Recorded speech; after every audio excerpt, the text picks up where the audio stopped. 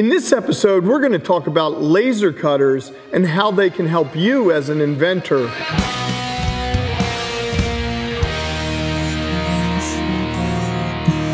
I've done a few episodes where I've talked about laser cutters, and I think I also told you guys that out of all the tools that I use in this shop, the laser cutter is probably the one I use the most.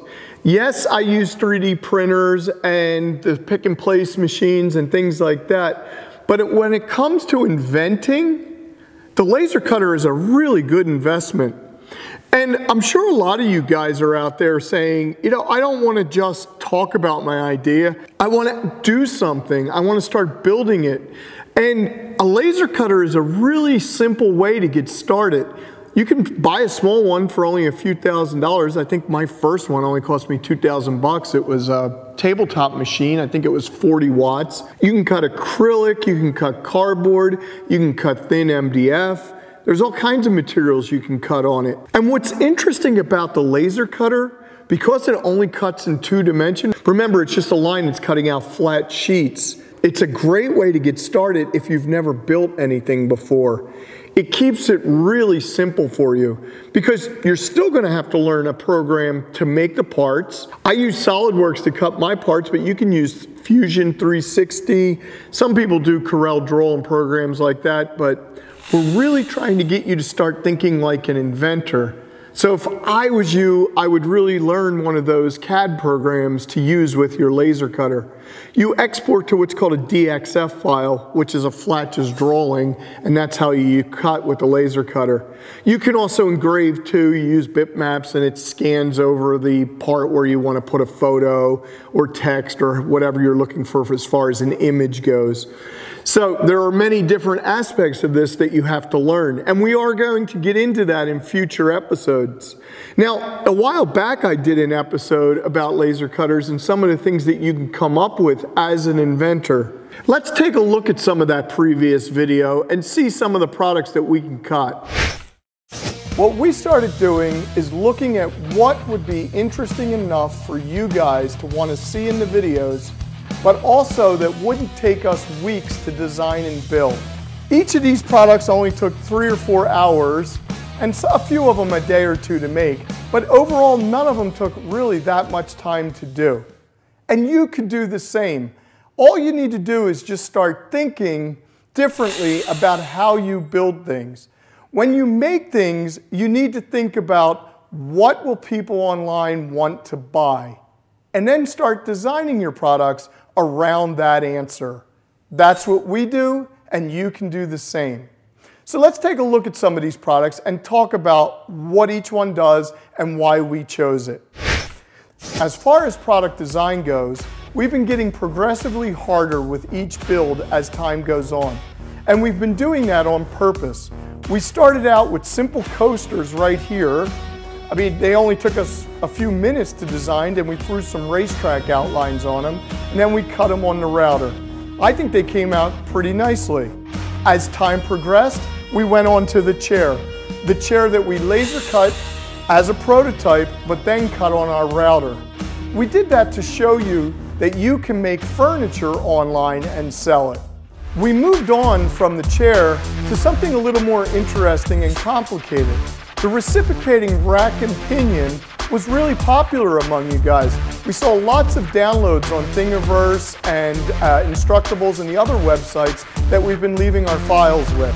So if you want any of these files, make sure you check out the Thingiverse site or the Instructable site, and you'll be able to download all these files there. We went on from the reciprocating gear to this slider because we actually needed one for the show. This slider is one of my favorite products that we've done so far.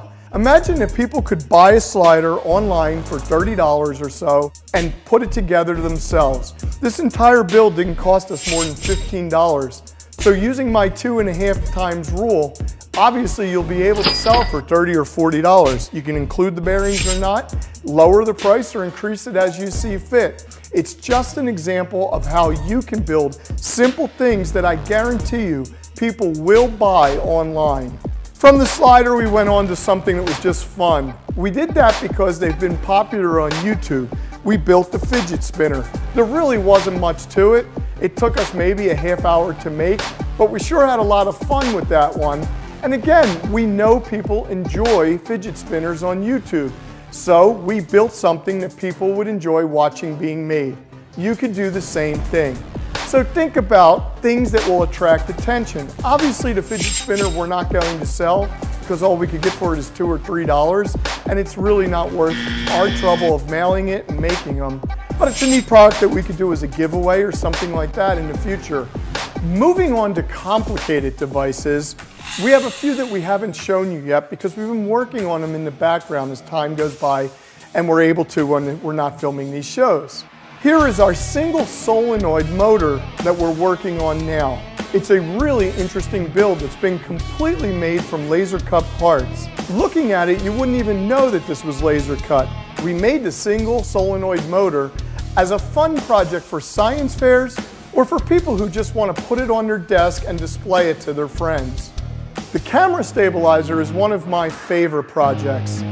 It's a stabilizer that steadies your images using a gimbal and weight system and works with your iPhone or other small camera like a GoPro. We know you guys are really going to enjoy downloading this one and building it. It doesn't cost more than $10 to make and it's a really fun project. And I know you'll get lots of use out of it as you use it to film your YouTube video. Well, this isn't really where I recommend you head it for sales. It's a good way to get started and start learning. You could come up with a series of flat products that maybe snap together from your laser cut parts, maybe desktop stands, picture frames. It's more arts and crafts, but it's the first step in learning.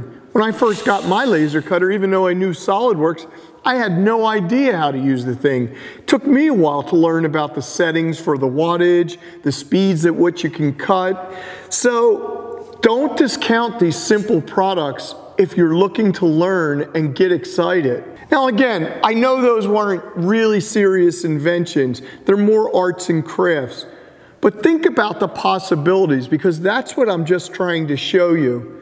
There are people out there on the internet, you can go look for them, that are cutting things like racetracks, Christmas ornaments, things like that, and selling them on their websites. So I don't discount that. It's a, it's a great start for the first time inventor. And again, it's a learning experience. So think about that. Now, as far as other things that we can use the laser cutter for, there are many aluminum products that I have designed that I actually check the dimensions out on a laser. So think about this. If you have an aluminum part that you're designing and you have holes in it and the spacing needs to be a particular way, you can keep looking at it on your screen or you could create a single dimension version of it, just a flat sheet with all the holes and other things in place and cut it out really quick on the laser to test your fittings. I even did a car part this way, an entire strut of a front car that's actually made out of steel and welded. I first cut it on the laser cutter.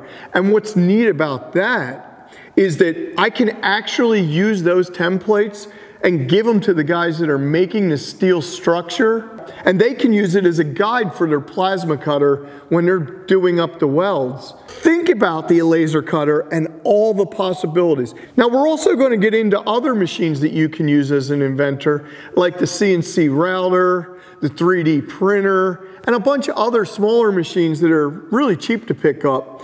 So look for future episodes. Make sure you subscribe, give me a thumbs up, and leave your comments below.